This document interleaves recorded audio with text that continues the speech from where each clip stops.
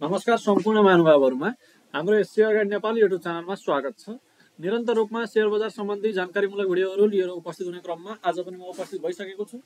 आजको भिडियोमा रहेर मैले डेली मार्केट अपडेट श्रृङ्खला जुन हाम्रो रहेको छ त्यो श्रृङ्खलामा आधारित भएर छलफल गर्नेछु अनि मार्केट निरन्तर रूपमा घटिरहेको छ चुनाव नजिकै जाँदा पनि मार्केट घटिरहेको छ। यसको कारण के हो भन्ने विषयसँग पनि आधारित भएर छलफल गर्नेछु तसर्थ पनि भिडियो महत्त्वपूर्ण हुनेछ भन्ने आशा गर्दछु। अनि ढिला नगरी सुरु गरौँ आजको विषयवस्तुहरू। बजार आज तेइस सय पन्चासी दशमलव छ चारको बिन्दुमा आएर क्लोज भएको छ। उन्तिस दशमलव छ जिरो बिन्दुले घटेको छ भने पर्सेन्टेजमा एक दशमलव दुई तिन प्रतिशतले घट्न गएको हो। र बजारमा आज चौबिसवटा कम्पनीका लगानीकर्ताहरूले कमाएका छन्। एक सय सडसठीवटा कम्पनीका लगानीकर्ताहरूको आज घुमेको छ भने चारवटा कम्पनीको रेट आज अनचेन्ज रहेको छ। अनचेन्ज रेट हुनेमा आज सिएल बिएसएल रहेको छ शीर्ष स्थानमा अर्थात् यो शीर्ष त के भन्नु र? रेट अनचेन्ज नहुनेमा चारवटा कर्मश छन्। यसमा सिभिल वित्त वित्तीय संस्था फर्स्टमा छ नबिल दोस्रोमा छ ओरिएन्टल होटल तेस्रोमा छ।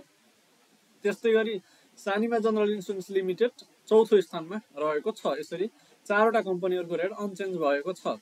र आजको बजारमा कमाउनेमा जुन यो भर्खरै आइपिओ निष्कासन गरेर दोस्रो बजारमा कारोबारमा आएका कम्पनीहरू दुईवटा। नेस्टो समृद्ध लघुवित्त वित्तीय संस्था लिमिटेड र जाल्पा सामुदायिक लघुवित्त वित्तीय संस्था लिमिटेड। यी दुईवटा कम्पनीहरूको आज सबैभन्दा धेरै बढेको छ। अर्थात् नेस्टो समृद्धले आज सर्किट लेभलमा नै कारोबार भएको छ। यसको चौबिस सय अठासी दशमलव नौ जिरोको बिन्दु प्रतिकिता मूल्य पुगेको छ। दुई सय छब्बिस रुपियाँ दुई जिरो पैसा प्रतिकिता आज कमाएको छ।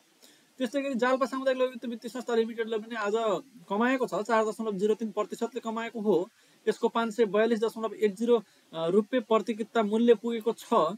त्यस्तै गरी तेस्रो स्थानमा कमाउनेमा आज एसएल बिएसएल रहेको छ। सामुदायिक लघुवित्त वित्तीय संस्था लिमिटेडले कमाएको छ। चौथो स्थानमा युएसएलबी रहेको छ अर्थात् उन्नति सहकार्य लघुवित्त वित्तीय संस्था लिमिटेड। जुन यो उन्नति सहकार्य लघुवित्त वित्तीय संस्था लिमिटेडले आज कमाएको छ तिन दशमलव तिन तिन प्रतिशतले कमाएको छ। त्यस्तै गरी अर्कोमा एनआइसिबिएफ अर्थात् NIC Asia balance fund mutual फन्डले कमाएको छ। यसरी कमाउनेहरूमा अधिकतम कम्पनीहरू शीर्ष पाँचभित्र माइक्रोफाइनेन्स सेक्टरका कम्पनीहरू देखिएका छन्। त्यसमा पनि दुईवटा कम्पनीहरू त भर्खरै आइपी निष्कासन गरेका कम्पनीहरू हुन् भने दुईवटा कम्पनीहरू भने दोस्रो बजारमा कारोबार भइरहेका कम्पनीहरू हुन् जुन यो सामुदायिक लघुवित्त वित्तीय संस्था लिमिटेड र उन्नति सहकार्य लघुवित्त वित्तीय संस्था लिमिटेड यी दुईवटा कम्पनीहरू कारोबार भइरहेका कम्पनीहरू हुन्।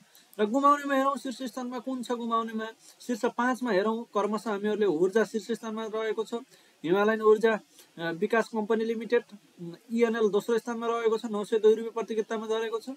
राष्ट्र उत्थान लघुवित्त वित्तीय संस्था लिमिटेडले पनि कमा गुमाएको छ। ऊर्जाले आज नकारात्मक सर्किट नै आनेको छ यसले दस प्रतिशतले घटेको छ।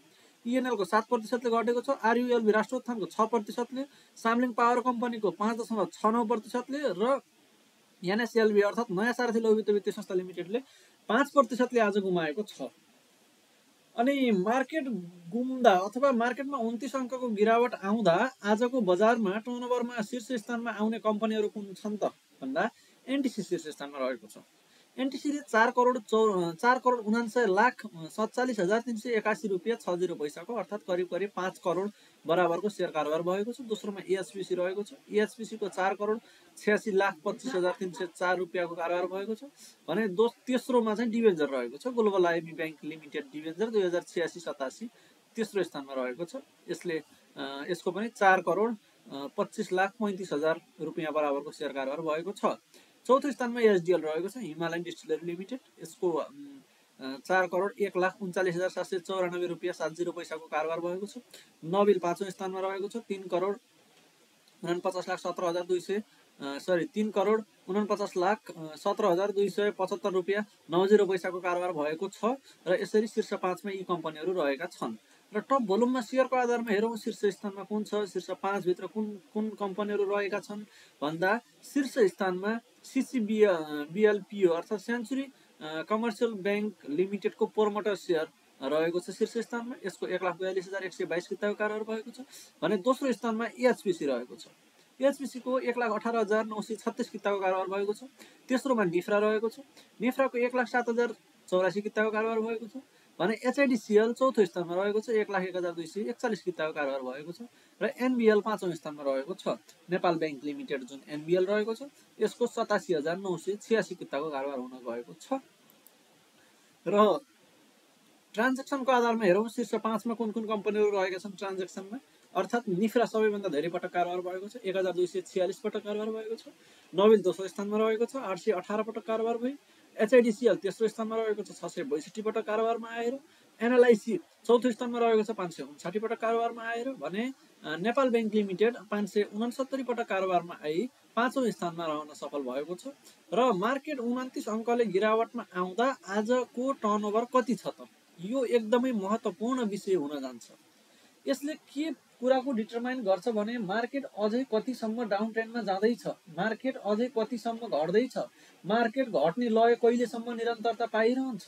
भन्ने यी पक्षहरूको विविध पक्षहरूको डिटरमाइन यस यहाँनिर हाम्रो टोटल टर्नओभर रहेको छ। यसले डिटरमाइन गर्ने गर्दछ। यसले सकारात्मक लयको सिर्जना गरेको छ अर्थात् सकारात्मक ट्रेन्ड यसमा देखिएको छ। जम्मा आज एक अरब चौवालिस करोड सात लाख तेइस हजार एक सय बयासी रुपियाँ तिन दुई पैसाको आज सेयर कारोबार भएको छ। अनि त्यस्तै गरी आज टोटल ट्रेड सेयरको सङ्ख्या चौतिस लाख सात हजार दुई सय बहत्तर किताको कारोबार भएको हो भने आज मार्केट ट्रान्जेक्सन जम्मा उन्तिस हजार चौवालिस पटक कारोबार भएको छ। र टोटल स्क्रिप ट्रेडको सङ्ख्या दुई सय तेत्तिसवटा कम्पनीहरूको कारोबारमा आएका छन् दुई सय तेत्तिसवटा कम्पनीहरू। र आज टोटल मार्केट क्यापिटलाइजेसन पनि घटेर तेत्तिस खर्ब चौरासी अर्ब बाह्र करोड अठाइस लाख पचपन्न हजार चार सय चौबिस रुपियाँ आठ पाँच पैसा कायम भएको छ। अर्थात् लगानीकर्ताहरूले पछिल्लो छोटो समयमा नै गत भदौदेखि भनौँ साउनको अन्त्यदेखि र भदौको पहिलो हप्तादेखि नै भनौँ त्यो समयदेखि लगानीकर्ताहरूले निरन्तर रूपमा पुँजी गुमाइरहँदा मार्केटमा दस खर्ब पुँजी गुमाएको अवस्था छ। अर्थात् त्रिचालिस खर्ब नेपालको सेयरको यो पुँजीकरण पुगेको थियो मार्केट क्यापिटलाइजेसन पुगेको थियो र त्यो घटेर जम्मा तेत्तिस खर्बमा सीमित भएको छ अहिले।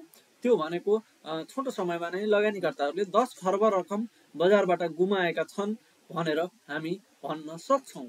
र मार्केटमा आएको ट्रान्जेक्सन यो जुन ट्रान्जेक्सनले बजार अब घट्ने लय त्यति धेरै छैन। सङ्कुचनमा मार्केट गइसकेको छ। अब घट्ने सम्भावना न्यून छ। मार्केट बढ्नको लागि केही सकारात्मक लयहरू सकारात्मक भाइब्सहरू खोजिरहेको छ बजारले भनेर हामी यो ट्रान्जेक्सनले भन्न सक्छौँ। हाम्रो बजारको कुरा गर्ने हो भने total transaction sorry total turnover चाहिँ एक्काइस खर्बसम्म सरी एक्काइस अर्बसम्म दिनमा पुगेको अवस्था छ। र त्यो एक्काइस अर्ब पुगेको पनि यही इयर अथवा गत वर्षको कुरा नै हो र अहिले त्यो कुरा गर्ने हो भने जम्मा हाम्रो मार्केट क्यापिटलाइजेसन एक अर्बमा पुगेको छ। यसबाट सरकारलाई पुँजीको जुन यो हाम्रो कर तिरिन्छ capital gain tax capital gain tax त्यसबाट सरकारलाई हुने आम्दानीमा एकदमै भारी गिरावट भएको हामी यहाँबाट देख्न सक्छौँ। त्यति बेला एक्काइस अर्बको दिनमा कारोबार हुने बजारबाट अहिले घटेर एक अर्बमा आउनु अथवा एक अर्बमा सीमित हुनु भनेको बजारको मुख्य आम्दानीको स्रोत एकदमै सङ्कुचनको अवस्थातिर जानु हो भनेर हामी बुझ्न सक्छौँ। त्यो पक्षको सरकारले पनि ध्यान दिनुपर्ने हो। तर पछिल्लो समय सरकार आफै अर्थतन्त्र सङ्कटमा परिरहेको र जुन डलरको जुन यो जुन डलरको डिपोजिट हो त्यो चाहिँ घट्दै गइरहेको। अर्थात् पछिल्लो सात महिनाको लागि मात्र। अब आउने भावी सात महिनाको लागि मात्र डिपोजिट भएको भन्ने र प्रमुख प्रतिपक्षी दलहरूले पनि अर्थतन्त्र सङ्कटमा जान लागेको भन्ने किसिमका हल्लाहरू चलिरहेको हुनाले चुनाव नजिकै जाँदा पनि बजारमा एक किसिमको सकारात्मक लय सिर्जना हुन सकेको छैन। अर्थात् बजार वृद्धि हुन सकिरहेको छैन। बजार निरन्तर रूपमा डाउन ट्रेन्डमा गइरहेको अवस्था छ। र यस पश्चात हामीले जुन यो सेक्टर वाइज हेरौँ सेक्टर वाइज कस्तो इफेक्ट रहेको छ मार्केटमा हामी म्यापबाट हेर्ने हो भने पनि मार्केट निरन्तर रूपमा डाउन ट्रेन्डमा नै गएको छ। मार्केट ओपन भएदेखि क्लोज भएसम्म हामी यहाँनिर थोरै इन्ट्राडेको कुरा छोड्ने हो भने अर्थात् हाम्रो आज टाइम भन्नुहुन्छ भने एघार बजेर छ मिनट जाँदा चौबिस सय सैँतिसको बिन्दुमा उच्चतम बिन्दुमा आजको लागि पुग्यो भने त्यसपछि भने मार्केट निरन्तर डाउन ट्रेन्डमा आएर मार्केट सबैभन्दा न्यून बिन्दु भनेको आज तेइस सय असीको बिन्दुमा आएको हामी देख्न सक्छौँ।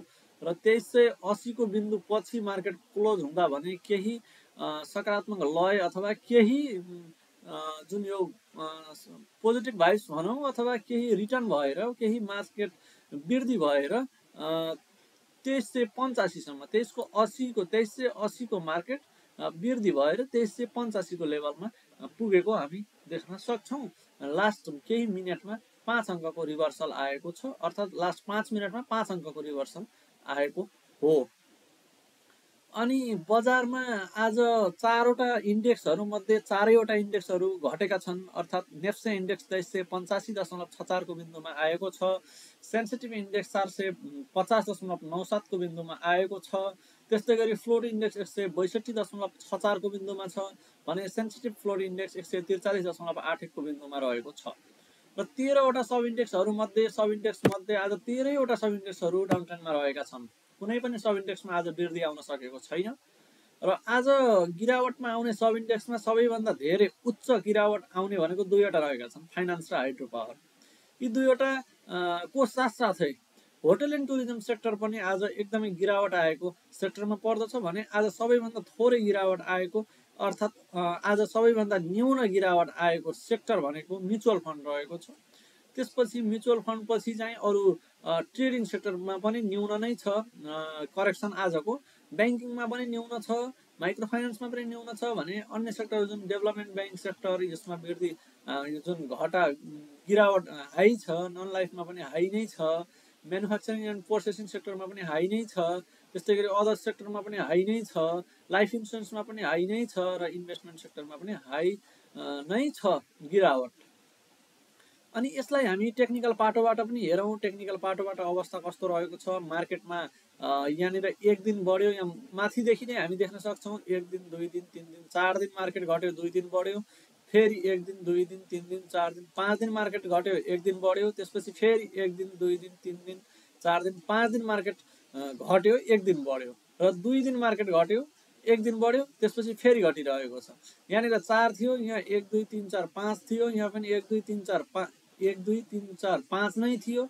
यसपटक त्यसलाई क्रस ओभर दिएको थियो अर्थात् दुई पटक दुई दिन मात्रै मार्केट घटेर रिभर्सल भएको थियो। त्यसपछि फेरि आज मार्केट घटेको नै छ। यसबाट हामीहरूले के बुझ्न सक्छौँ भने मार्केट डाउन ट्रेन्डमा नै छ भनेर हामी सजिलै आकलन गर्न सक्छौँ। र त्यसको साथसाथै मार्केटमा हामीहरूले इन्डिकेटरहरू पनि लगाएर हेर्न सक्छौँ नसक्ने चाहिँ होइन।